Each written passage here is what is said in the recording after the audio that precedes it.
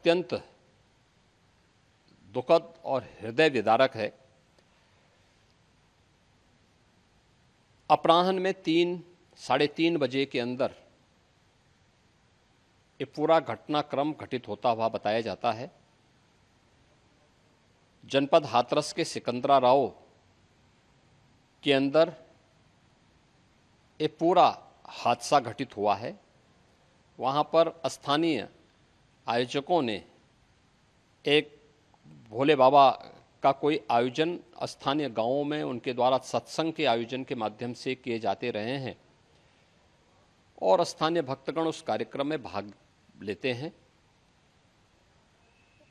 उस समय जब मंचीय कार्यक्रम संपन्न हो चुका होता है तो बताते हैं कि जब सत्संग के प्रवचनकर्ता वहाँ से मंच से उतर रहे थे तो उनकी तरफ़ अचानक भक्तों की भीड़ उन्हें छूने के लिए उधर जा रही थी और सेवादारों के द्वारा रोकने पर यह हादसा वहाँ पर घटित हुआ। इस पूरे मामले की जाँच के लिए हम लोगों ने एडिशनल डीजी आगरा की अध्यक्षता में मंडलायुक्त तो अलीगढ़ को शामिल करते हुए एक टीम बना करके उन्हें अविलंब रिपोर्ट उपलब्ध कराने के लिए कहा है। घटना को देखते हुए प्रदेश के मुख्य सचिव और डीजीपी वहीं पर कैंप कर रहे हैं। प्रदेश सरकार के तीन मंत्री चौधरी लक्ष्मी नारायण जी, से संदीप सिंह जी, से असीम अरुण जी, ये तीनों लोग वहाँ पर घटनास्थल पर ही कैंप करके घायलों को उपचार आदि की व्यवस्था में लगे हुए हैं। लोगों की मदद करनी चाहिए सेंसिटिव सेंसिटिवली और सब परिवारों को जिन्होंने किसी को खोया है मैं कंडोलेंसेज ऑफ़र करता हूँ। हम लोग सदन में थे। सदन में थे उस समय जानकारी मिली कि इस तरह का हादसा हुआ है। सवाल ये कि इतने बड़े पैमाने पे इतने लोगों की जान जाना आखिरकार सरकार क्या कर रही थी?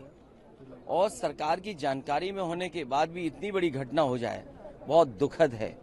सरकार की ज़िम्मेदारी बनती है कि अगर किसी आयोजन में इतने लोग इकट्ठे हो रहे हैं या इतने लोग आने वाले हैं तो आखिरकार उनकी सुरक्षा, उनकी व्यवस्था के लिए सरकार ने क्या किया, ये सबसे बड़ा प्रश्न लगता है। जो रिपोर्ट्स आ रही हैं, जो हाथरस वाले इंसिडेंट्स में, आइए।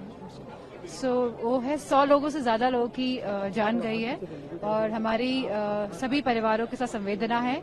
और यूपी सरकार को इस पे सख्त से सख्त एक्शन लेना चाहिए। और जो लोग घायल हैं, तुरंत उन पे सहायता पहुँचे लोगों की। और इस पे एक जाँच होनी चाहिए कि ये आफ्टर ऑल ये एक्सीडेंट क्यों हुआ? ये भगदड़ क्यों मची? ये पूरी तरह प्रशासन और शासन की ज़िम्मेदारी थी।